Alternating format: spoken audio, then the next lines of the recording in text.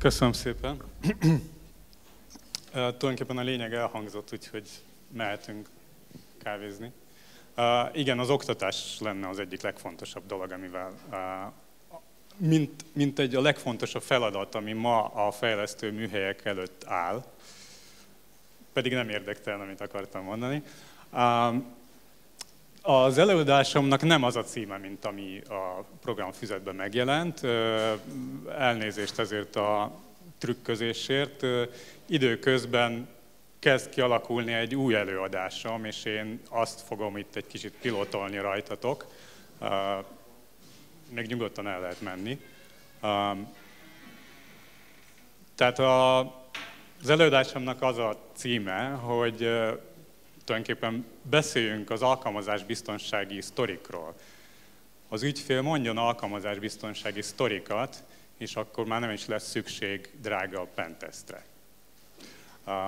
Az állításom az az, hogy egy pár kávéházi beszélgetés a szoftverfejlesztés és a szoftverbiztonság felelőseivel az ügyfélnél többet ér, mint pentest, és jelentősebb, jelentősen olcsóbb, mint a pentest. Na most ahhoz, hogy értelmezzük, hogy mit beszélek, ahhoz ugye definiáljuk a kontextust.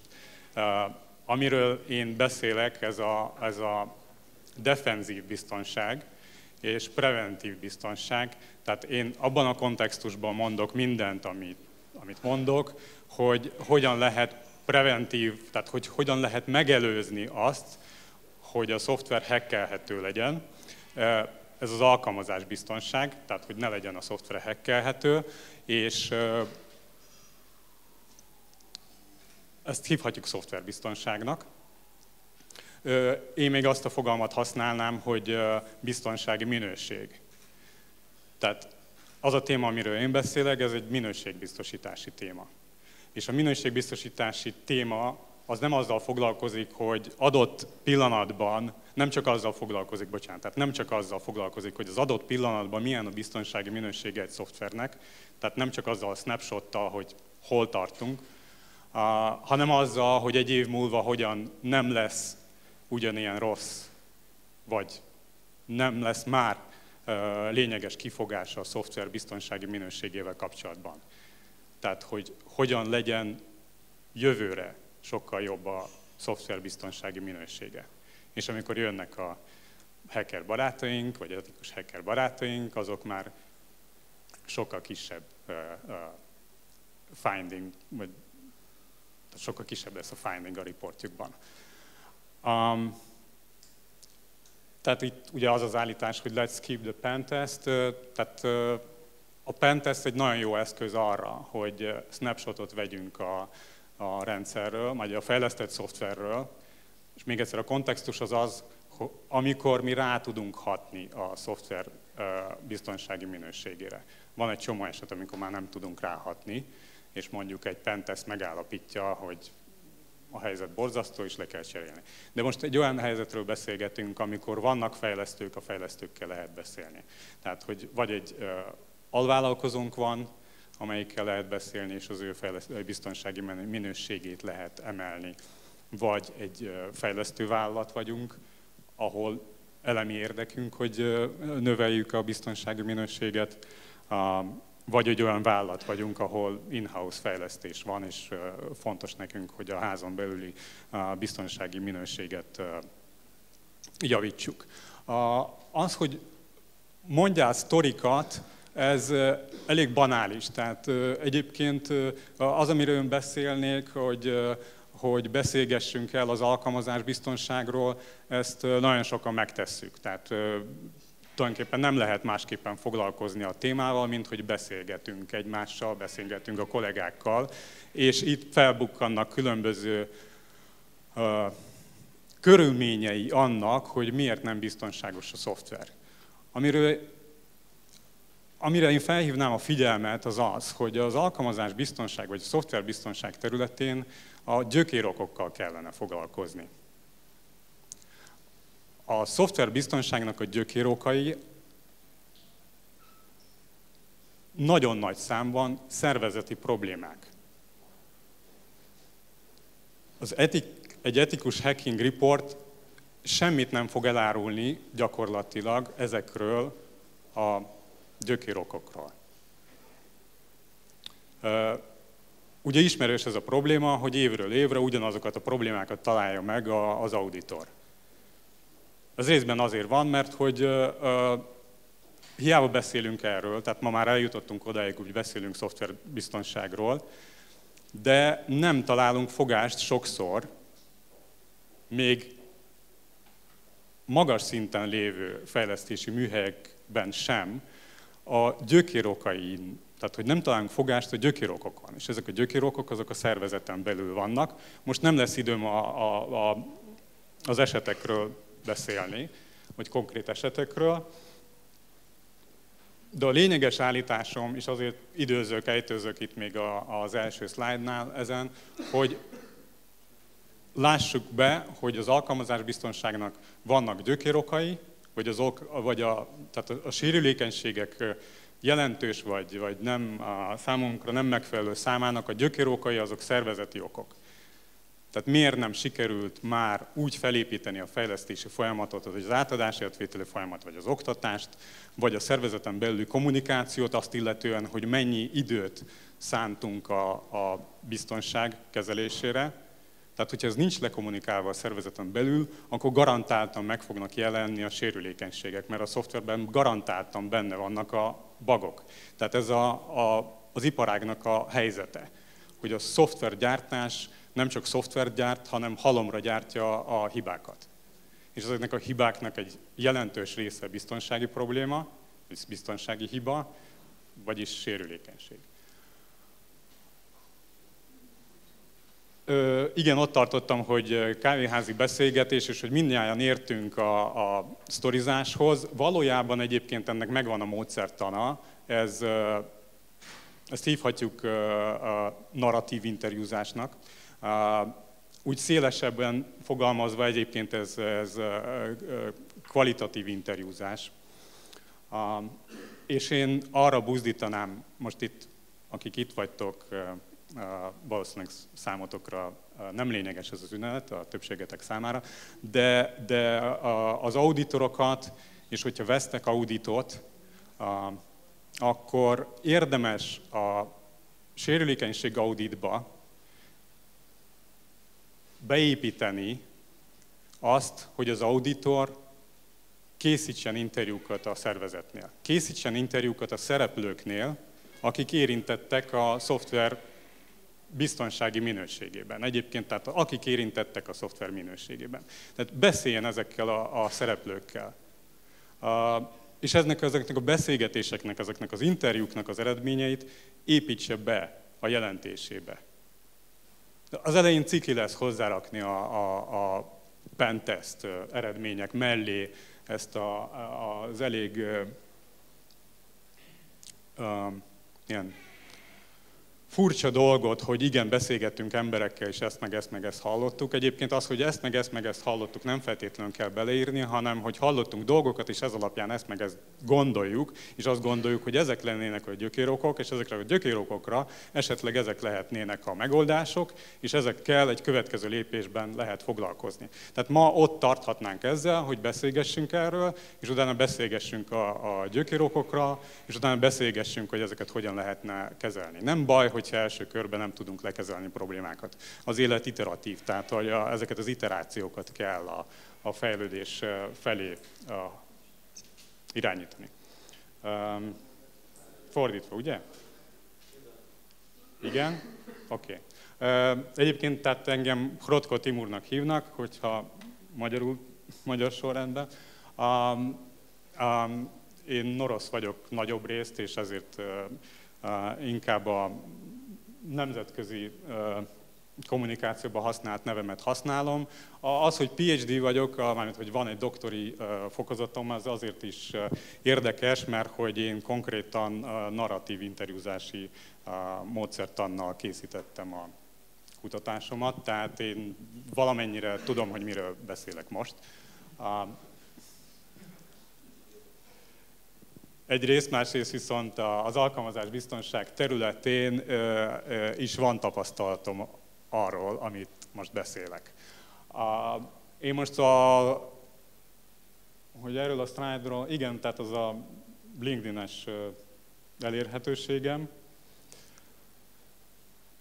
Egyébként az OWASP nevében lépek föl. Az Open Web Application Project az az alkalmazás biztonság vezető nemzetközi szervezete, aminek milyen furcsa okoknál fogva Magyarországon én vagyok a, a helyi tagszervezetnek a vezetője valójában a web application, tehát valójában most már nem is a, csak a web alkalmazásokról szól ez a szervezet, és valójában nem egy projekt, hanem sok projekt áll mögötte, tehát ez egy ilyen fedő szervezet, nagyon sok olyan projekt fölött, amelyek a szoftverbiztonsággal kapcsolatosak. Bárki elkezdhet egyébként egy OWASP projektet, és igen, az OWASP-nak a legtöbb projektje az egyébként említése nem méltó, de vannak említésre méltó projektek. A sajnálatos módon az OVAS Top 10 az, ami mindenki, aki, amit mindenki ismer. Sajnálatos módon az OVAS Top 10-t mint egy ilyen követelményt használják mind a megrendelők, mind a szállítók. Nem is olyan régen mutatott nekem valaki egy megrendelést, egy igen tiszteletre mert a ügyféltől, aki elég komolyan foglalkozik a biztonsággal. Abban, abban a, a, a Egyébként egy sérülékenység auditot úgy rendelték meg, hogy Black Box Pentest zárójelben OWASP. Tehát ez volt a, a végső összefoglalása a, a, a megrendelésnek. Most az se nem volt Black Box, amit szerettek volna, se nem volt pentest, hát ezzel már így az ember már megújja a küzdést azzal kapcsolatban, hogy a sérülékenység auditot pentestnek hívjuk, de akkor oké, én is a címben ezt elfogadtam, megadom magam, hívjuk pentestnek, és tehát hogy a zárójában OVASP az nem jelent semmit, de még hogy, de nyilván az OVASP top 10-re gondoltak, de hogyha az OVASP top 10-re gondoltak, akkor sem gondoltak semmire, mert hogy ilyet nem lehet garantálni, hogy a szoftver mentes az OVASP top 10 hibáktól. Tehát ez egy ez egy nem, nem létező állítás. Uh, Oké? Okay? Tehát az OVASZ Top 10 ez egy oktatási anyag. Sose írjuk bele semmibe, mint requirement. Ezért én most uh, a Top 10 ellen próbálok uh, beszélni. Uh, igen, az, hogy mit érdemes az olasz kapcsolatban milyen projekteket érdemes tudni, például a Proactive Controls, ez egy olyan top 10, ez is egy hasonlóan top lista, amivel a fejlesztés folyamán, vagy a, vagy a tervezés folyamán foglalkozunk. Tehát ennek van értelme. Annak, hogy utólag felmérjük, hogy a szoftverben milyen hibák vannak, annak én elég kevés hasznát látom. Emlékezettek arra, hogy van egy ilyen proaktív controls. A, ami viszont az auditot illeti a top 10 helyett, ami követelmény lehet, hogy, hogy a, a, az ESVS, a Verification Standard alapján érdemes auditokat, vagy legalábbis a Verification Standardet érdemes az auditba beépíteni. Ez egy checklista. Sok pentester egyébként tiltakozik az ellen, hogy checklistával lehet auditálni, ez egy checklista. Én szaladok tovább, mert valójában nincs időm, hogy befejezzem a prezentációt. A, megint a kötelező kör, a, a biztonsággal nem lehet úgy foglalkozni, hogy nem, nem követjük az eseményeket. Eseményeket követni nehéz, ezért én javaslom, hogy hallgassunk podcastokat. Ott van két podcast, a, a, a, a, a paul.com, hogyha pentesterek vagyunk,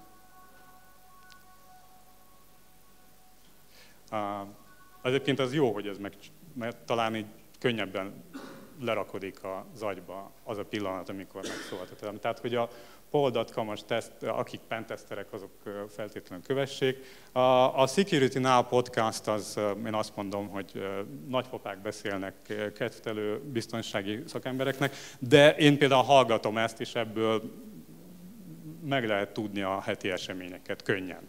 Tehát a, a KF Aliz az ezen a rövid linket elérhető ez a prezentáció.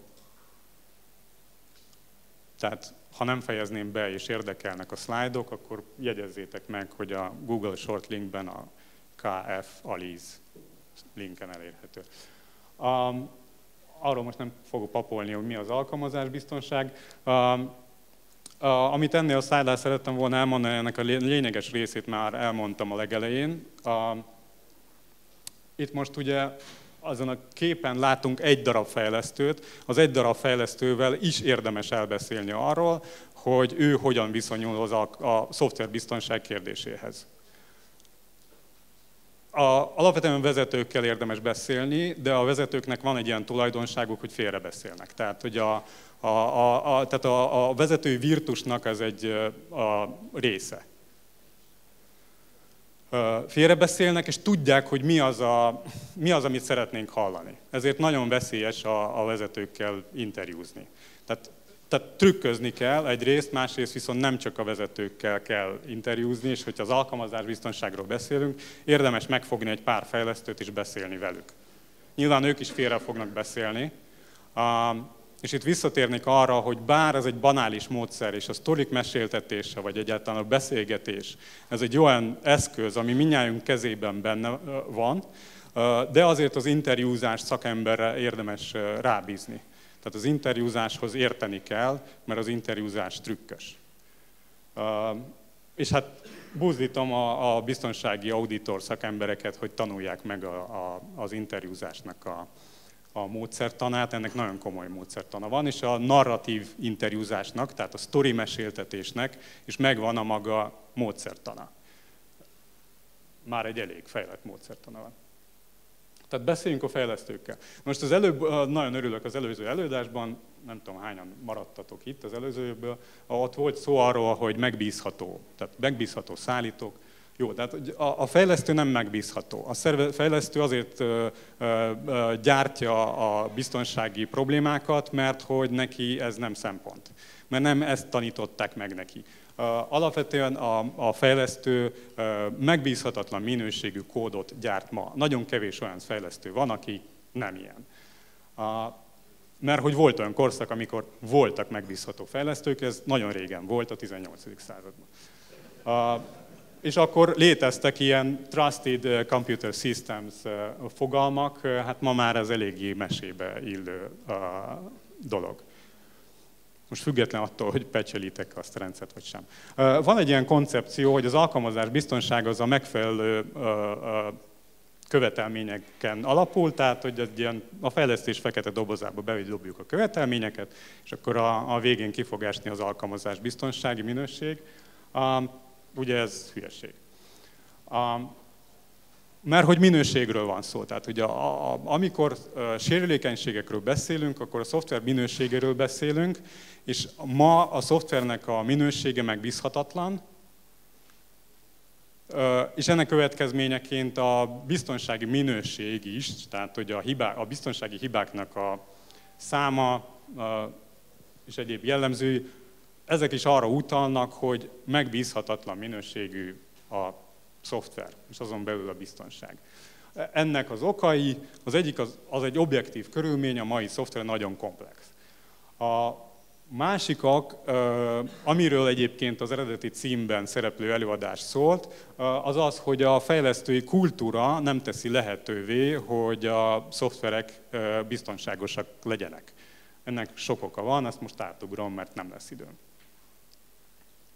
Egyébként itt megpróbáltam az előző fejlesztős szlájdal ellentétben, ez a, a Wikipédián a, a Scrum Meeting illusztrációja, tehát itt most éppen azokat a fejlesztőket kritizálom, akik egyébként magas szinten vannak.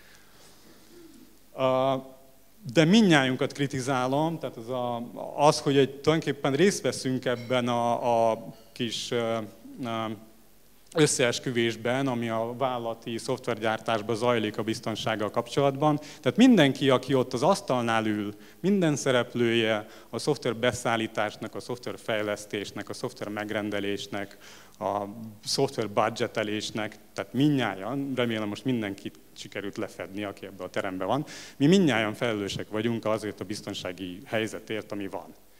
Minnyáján tehetünk valamit, és van egyfajta ilyen összejátszás. Tehát mindjárt összejátszunk abba, hogy rossz a szoftvernek a biztonsági minősége. Az, hogy milyen uh, excuse mondunk magunknak, hogy ezt miért itt tesszük, az egy lélektani kérdés. A, a, még egy ok, tehát, hogy rosszul van menedzselve az alkalmazás biztonsága szervezeteknél, jellemzően.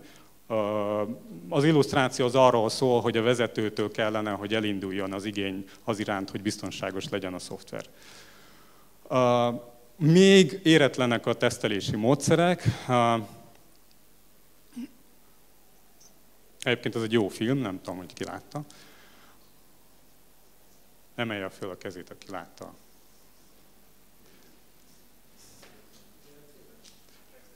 Ex Machina tehát ő egy robot. Arról beszélek, hogy a mai biztonság, tesztelés, biztonság tesztelési módszertanokat kritizálom most éppen, és a pentesztereket. Tehát szerintem, hogyha a teszteli, automata tesztelés az elkövetkező években el fog érni megfelelően magas színvonalat, tehát be fog tud járni mondjuk egy banki klienst magától, amit ma nem tud. Tehát ma egy intelligens ember úgynevezett pentester tudja végigjárni a, a banki klienst, és ott ki tudja próbálni a különböző a, a hekkelési módszereket. Hogyha ezt meg tudja, fogja tudni csinálni a robot, hogy végigjárni az alkalmazást, akkor a, a pentestereknek egy jelentős része a, más a, a, szerepet kell vállaljon a, a biztonsági piacon. Tessék? Uh, igen, tehát hogy sajnos a penteszterekkel általában az a baj, hogy nem tudnak programozni, és érdemes az elkövetkező öt, az érdemes az elkövetkező öt évet felhasználni arra, hogy tudjál mondjuk kódot értelmezni. Igen, mert hogy a, itt tartunk egyébként, tehát az auditorok viszont ugye nagyképűek, arrogánsak, jönnek, megmondják, hogy hogy megint hülyék voltatok, de ott nem hagynak, tehát nem tudnak hozzászólni ahhoz, hogy hogyan legyen jobb. Tehát nyilván ez egy segítség, hogy kapsz egy, egy riportot, nyilván beleírják, hogy egyébként hogyan kéne azt csinálni, de mondom, a probléma az nem az, hogy hogyan kell a, nem tudom, az SQL injekció ellen védekezni, a probléma az mélyebb, az egy szervezeti probléma jó, most egy olyat kértem számon az auditorokon, amit nem kéne, de szerintem olyan auditoroknak kéne nagyobb szerepet kapniuk, akik hozzá tudnak szólni, hogy mik azok a gyökérokok, és erről tudnak beszélgetni. Tehát, hogy vannak mindezek az okok, és akkor ott tartunk, hogy annak ellenére, hogy felvilágosult fejlesztőkkel dolgozunk, mégiscsak vannak biztonsági problémáink. Három percen maradt?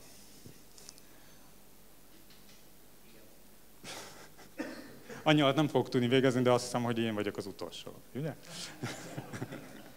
Közben nyugodtan szivároghattok ki tehát akkor gyalogoljunk tovább. Én azt mondom, hogy, hogy ez az egész story, story, storyzós történet az arról, arról is szólhat, hogyha van egy műhely, tehát mint ahogy a képen van, de a képet úgy is értelmezhetjük, hogy ez egy nagy vállalatnak a fejlesztési egysége, velük is érdemes elbeszélgetni, hogy ők miért kommunikálnak félre a vállalattal arról, hogy mik a biztonsági elvárások. Tehát, hogy lehet, hogy vannak biztonsági elvárások, de ők mégsem szánnak erre időt. És ennek oka van.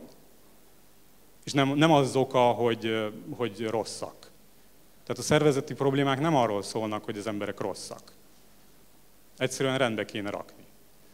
Igen, uh, hogyan lehet javítani a biztonsági minőségen? Az egyik a, a Bence által nagyon jól ismert uh, tétel. Uh, Ja igen, tehát a, itt design, itt meg testing kellene, hogy legyen, de ugye ennek a konferenciának az a a 18. századi elvárása, hogy PPT-ben adjuk be a preziket, és hát bizonyos darabok kiestek a preziből. Tehát, ja igen, tehát hogy a fejlesztés, a kódolás az legyen kevés, sok legyen a design és a tesztelés. Ezzel már előre lépünk. A, tehát threat modeling. Enélkül nincs biztonságos fejlesztés, hogyha lenne. Tehát nincs biztonságos fejlesztés, és nincs pentest lényegében threat modell nélkül, és mind a két szakterületen valahogy ezt elfelejtik. itt elmondanám a reklámot, a Hacktivity-n szombaton délelőtt az OVASP szervezésében négy előadónk lesz. Az egyik előadó, a, a magyar előadó Márk, ő pont a threat modellezésről fog beszélni, és a kártyázás, megint csak játék, tehát játékon keresztüli threat modellezésről fog beszélni, gyertek. A,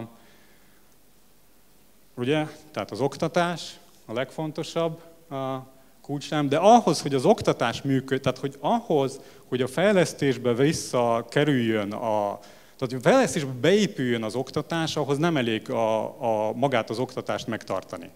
Ugyanúgy, mint ahogy a, a pentesztelés, na most ez a VAPT, ez a, a Vulnerability uh, Assessment uh, Penetration Testing, tehát én ezt a pentest helyett ezt ajánlanám használni, ezt a fogalmat. Tehát, hogy a pentest eredményeit be kell építeni a fejlesztési folyamatba. A, a, az oktatást is be kell építeni a fejlesztési folyamatba. Az nem elég, hogy megtartunk egy oktatást, az még nem fog belekerülni a fejlesztőnek a mindennapi munkájába automatikusan. Tehát sokszor elvesztegetjük a pénzt az oktatásokra, hogyha utána az nincs becsatornázva a fejlesztőnek a saját környezetébe. És ahhoz, hogy becsatornázódjon, ahhoz bizony kell a pentest, mert annak az eredményeiről lehet beszélgetni. Ez a slide az arról szól, hogy az oktatást és a pentestet egy, egy, egy ilyen review folyamatba, egy ilyen közös beszélgetésbe az auditorral be kéne uh, csatornázni. Meg, vagy mi, mi ezt, nem, mi, az OVASP ezt nem hívja, úgyhogy én uh, nem beszélek erről. Uh, és hát ne legyen az, az illúziónk, hogy, hogy a, nem törhető a szoftverünk, a szoftverünk törhető, bármit csinálunk, törhető a szoftver, foglalkozunk az incidens kezeléssel. Mm, ezt kihagyom, mert ezekről beszéltem, most inkább a, még egyszer megfogalmaznám az üzenetet, hogy, hogy miért magas, vagy, nem, vagy, vagy számunkra nem elfogadható a sérülékenységeknek a száma azokban a szoftverekben, amelyekre ráhatással vagyunk, vagy az, amelyek fontosak nekünk, és ráhatással vagyunk az ő fejlesztési minőségükre,